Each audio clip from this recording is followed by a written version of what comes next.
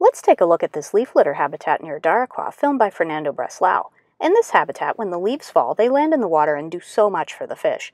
In the still waters of the flooded forest, leaves provide great microhabitat, giving the fish places to hunt for small invertebrates. As the leaves break down, they provide food sources for those small invertebrates, and the fish themselves often graze on the biofilm on the decomposing leaves. And even though it's just a little bit of space between the leaves, that's enough to make these very small fish feel comfortable that they can dive under and hide if they feel threatened.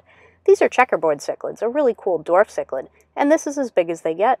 They love picking through the leaves in this habitat, looking for little things to eat, and are so cool to watch in an aquarium with lots of leaf litter.